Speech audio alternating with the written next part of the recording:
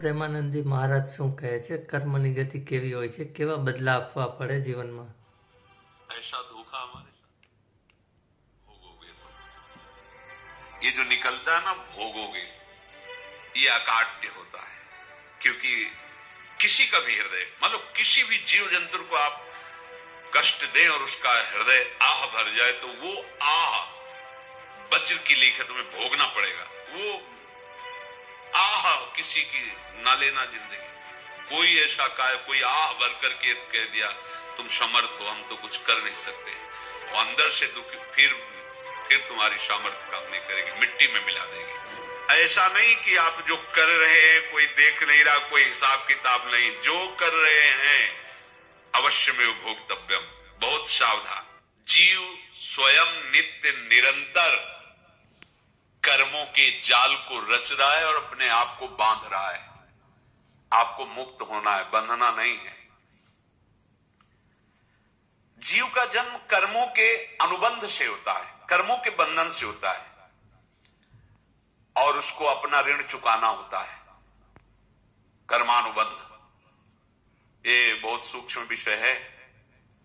जैसे आप जिस परिवार में जन्म लिए हैं तो उस परिवार के लोगों से आपका ऋण है, इसलिए उसी परिवार में आप आए और ऋणानुबंध उसको बिना चुकाए या बिना वसूल किए आप वहाँ से जाएँगे नहीं। आपको लेना है तो वसूल करना है और देना है तो चुकाना है। ये पूर्व के जन्मों से निश्चित किया गया है। जैसे किसी के यहाँ पुत्र हुआ, जन्म से ही पैसा खर्चा शुरू हुआ। बड़ा हुआ तो उदंडता के द्वारा मार पूरे परिवार को क्लेश पर क्लेश देता चला जा रहा है। ये तुम्हारे कर्म का फल है। या ऐसे शक्तिहीन, बुद्धिहीन, ऐसे पागल पूरे जीवन सेवा करो। तुमसे अपना हिसाब चुकाने के लिए आया है।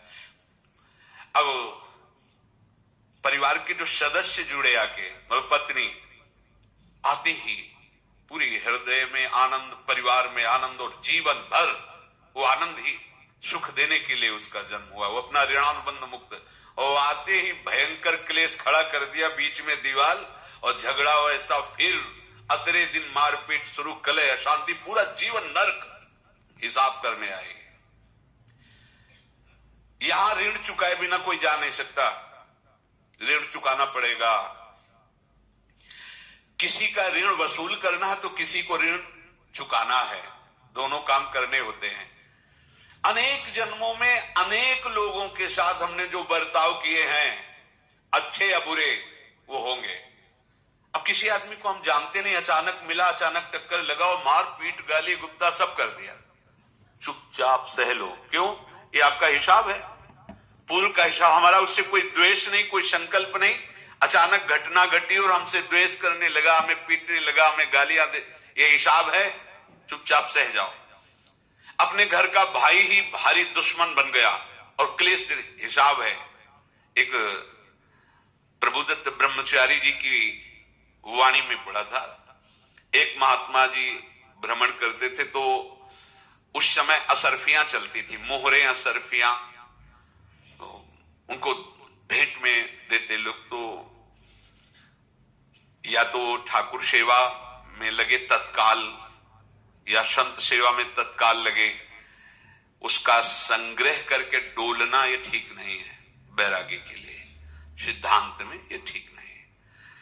तो जब दो, चार छ आठ ऐसे मोहरे हुई तो उन्होंने विचार किया कि और भ्रमण करके जब काफ़ी मोहरे हो जाएँगी तो प्रयागराज में जब कुंभ पड़ता है, एक बार पूरे सब अखाड़े के संतों को अलग अलग संप्रदाय, सब संतों को बुलाएँगे। और सबको पवाएँगे अब साधु है तो यही विचार करेगा और क्या विचार करेगा? तो उन्होंने ऐसे डंडा बनवाया, बेंत, जो ऊपर से चूड़ीदार और भीतर पोला और मोहरे उसमें डाल ऊपर से चूड़ीदार और भीतर पोला और मोहरे उसमें डालते हैं। और भ्रमण जहाँ जहाँ श्रद्धालु भगत के सबके यहाँ जाना और इच्छा रखना कि एक मोहर तो दे दे दक्षिणा में। कामना कोई भी हो, वो बांधती ही है ध्यान रखना। इसीलिए प्रभु जो चाहे वो करे, अपनी चाह नहीं रखनी चाहिए, अपनी चाह प्रभु की चाह में मिला देनी चाहिए। धीरे धीरे वो छड़ी भर गई, भ्रमण करने वाले महात्मा चूड़ी लगाई, इंतज़ार करते रहे जब प्रयाग का कुंभ पड़ा तो चले। तो रास्ते में एक गाँव में पूछा जाता है, जैसे कहीं रुको कि कोई श्रद्धालु ऐसा है जो संत सेवी है। तो कुछ लोगों ने बताया हाँ एक परिवार है, बहुत संत सेवी है, और आपको मिलाते हैं उनसे। हाँ ये महाराज घर में रुका। खूब अच्छा हलवा, पूड़ी पवाया, और जो घर के मालिक थे, चरण दबाए चरण दबाते दबाते उनकी दृष्टि पड़ी उस डंडे पे। इतना मोटा और ऊपर से कुछ चूड़ी सी भी नज़र आ रही, इस डंडे में तो कोई रहस्य है ही है। अब महात्मा जी को खवा पिला के सुला दिया, महात्मा जी जब सो गए तो पत्नी से धीरे से कहा डंडा लाओ बाबा जी का। डंडा वो चूड़ीदार, जो ही खोला, पलटाया तो सैकड़ों मोहरे ऐसे संत रोज पधारे भगवान तुम आनंद हो जाए फिर क्या? पत्नी से कहा, नाप के कंकड़ लाओ। वो तो महात्मा जी तो खाए खीर पूरी आराम से सो रहे रात में पूरी प्लानिंग करके उसमें कंकड़ भर के चूड़ी लगाकर सिराने रख दिया, सारी मोहरें हटा ली। महात्मा जी आराम से छड़ी उठाए तो वज़न पक्का वैसे, बड़े लोग चतुर होते हैं। पर ये नहीं जानते कि कर्म कितना भयानक होता है। और उनकी कोई संतान नहीं थी पर धन में इतना प्रेम उनको था। बहुत सावधान साधु महात्माओं के पास जो अर्थ है, गृहस्थी अगर आता वहीं से है, पर अगर उसको ज़ोर ज़बरदस्ती या किसी छल कपट से तो वो उसका विनाश ही करता है, आज तक का प्रमाण है। अब उनको ये भाव पता नहीं होगा या पता होगा तो लोग के कारण वो उसको मान नहीं पाए होंगे। महात्मा जी गए प्रयाग में, किसी अखाड़े पर रुके और वहाँ प्रार्थना की कि कल जो है संपूर्ण अखाड़ों का निमंत्रण किया जाए और सब संतों को भोग पवाया जाए उनको दक्षिणा भी दी जाए। महंत ने सोचा कि बहुत बड़ा है तो उत्सव है, क्योंकि प्रयाग में कितने हज़ारों संत महात्मा सब। तो उनका महाराज, बोरों इसमें चीनी और टीनो घी लगेगा, सब व्यवस्था बोले, आप मंगाइए। एक एक हिसाब हम करेंगे, हमारे पास सब व्यवस्था है। बोले, कुछ तो पहले दे दो इकट्ठे देंगे हम। उनको था कि अगर हम छड़ी खोला और दो चार मोहरे दी, किसी को पता लग गया तो गड़बड़ हो सकती। बोले हम भंडारे के समय आखिरी में सब कुछ आपको दे देंगे। ठीक। वो अपने पास से पैसे लगाकर खूब जितना सामग्री सब लाए, लाखों की और सब संतों को निमंत्रण कर दिया। संत जन निमंत्रित हो गए, भंडारा बन रहा है, तब वहाँ के महंत है उनका देखो, भंडारा भी बन रहा है। संतों को निमंत्रण। अब आप अर्थ की व्यवस्था कीजिए, क्योंकि इतनी बड़ी हमारी सामर्थ्य नहीं थी जितना हमने किसी तरह हमने व्यवस्था की। अब मुझे अर्थ चाहिए, तभी आगे की व्यवस्था बढ़ेगी। संतों को दक्षिणा देंगे और जिनसे अर्थ लिया उनको दे। देखो, रसोई बन गई है सब। दुर्गा छत में विश्वास नहीं दे अभी। चूड़ी खोली। उनको तो था ना कि मोहरे हैं।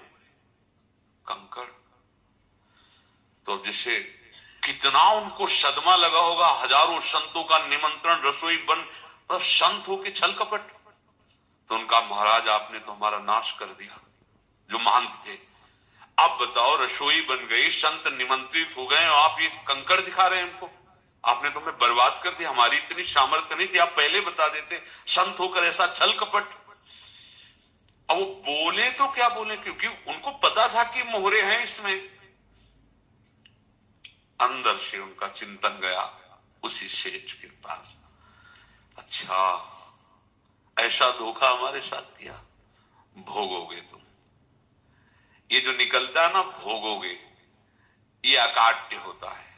क्योंकि किसी का भी हृदय, मान लो किसी भी जीव जंतु को आप कष्ट दें और उसका हृदय आह भर जाए तो वो आह वज्र की लेखे तुम्हें भोगना पड़ेगा। वो, देखो, भीष्म जी को भोगना पड़ रहा है सांप को ऐसे धनुष के नोक से उठाया और बम्बूल के कांटों के ऊपर फेंक दिया। कई दिन तक छेदा हुआ। वो आह भर करके मरा तो आपको छह महीने बाणों की सैया पर आह किसी की ना लेना ज़िंदगी में।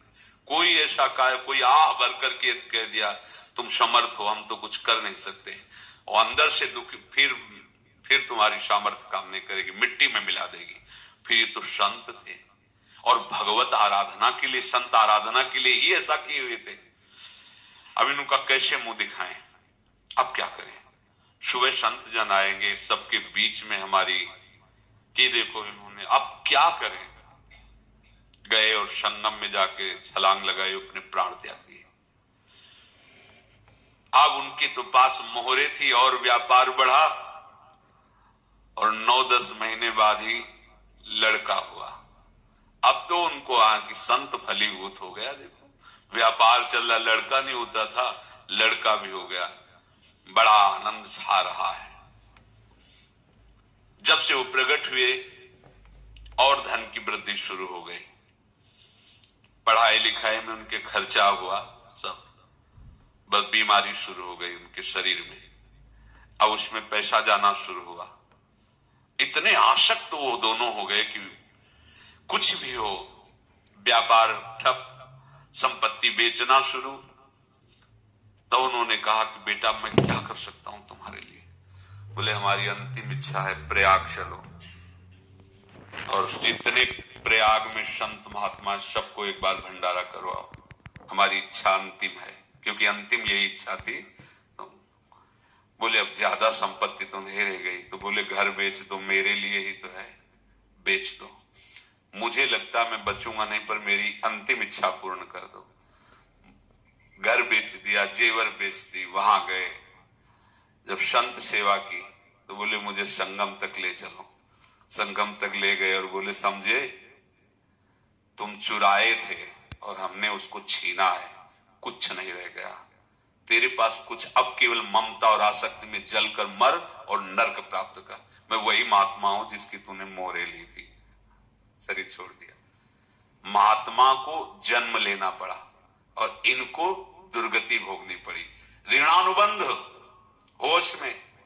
ऐसा नहीं कि आप जो कर रहे हैं, कोई देख नहीं रहा, कोई हिसाब किताब नहीं। जो कर रहे हैं, अवश्य में भोक्तव्यम बहुत सावधान।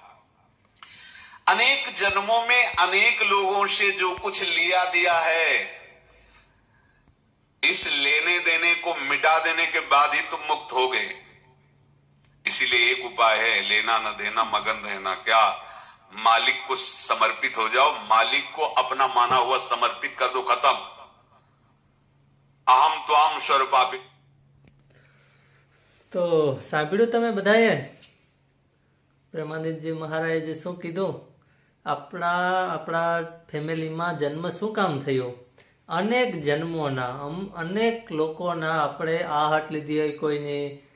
મહાત્માને દીકરો બનીને આવવું પડ્યું અને એના સોરાયેલા જે હીરા જડિત હતા એ બધું એને પાછું પરત કરવું પડ્યું. પાયમાલ થઈ ગયા.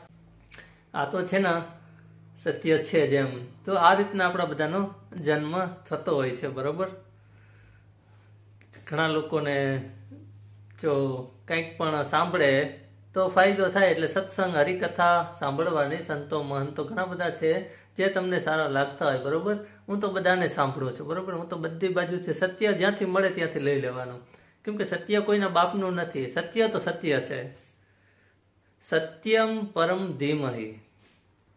તો ચાલો આમાંથી કંઈક પણ શીખ મળશે. ફરીવાર મળીએ નવા વીડિયો સાથે. ત્યાં સુધી આપ સૌને પ્રણામ. જય માતાજી જય દ્વારકાધીશ જય સિયારામ.